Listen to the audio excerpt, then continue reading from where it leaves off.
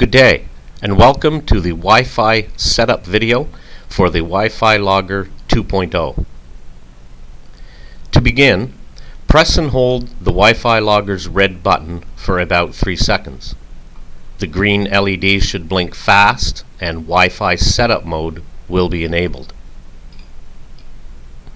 Now using your smartphone or laptop, find a new network Wi-Fi Logger setup.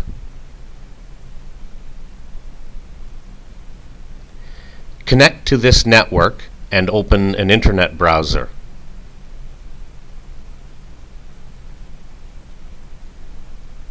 In the address bar, type 192.168.4.1 and hit enter.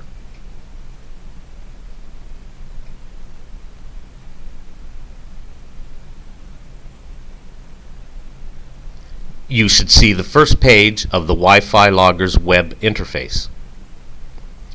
Now go to Setup, Wi-Fi Setup, or in your browser you can type 192.168.4.1 slash wi-fi.html.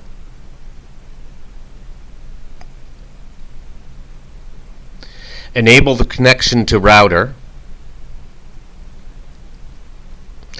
and input the SSID and password of your home Wi-Fi network.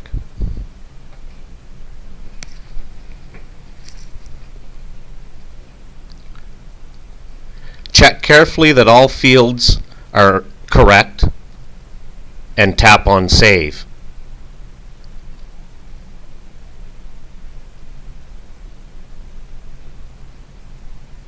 Wait for the page to reload.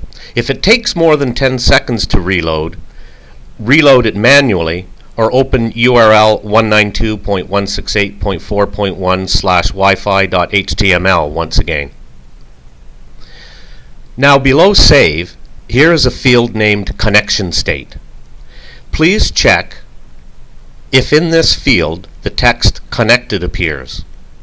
If it says idle, go back and ensure you have all the correct information in the Wi-Fi, SSID, and password fields and resave. Or restart the logger. If you do restart the logger and it is not configured for your Wi-Fi network, you will need to start at the beginning, holding the red button for 3 seconds to reactivate Wi-Fi setup mode.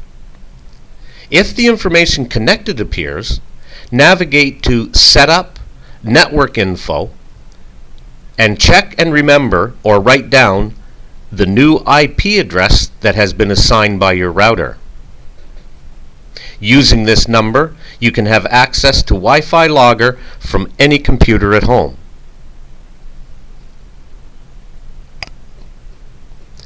Now please tap Restart button on Setup System page or click the Wi-Fi logger's white button to restart and disable the Wi-Fi setup mode.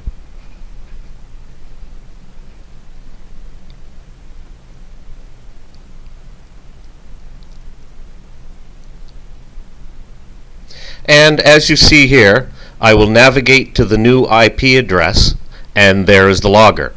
It is connected to Wi-Fi and beginning to receive data from the console. Thank you and enjoy your new Wi-Fi Logger 2.0.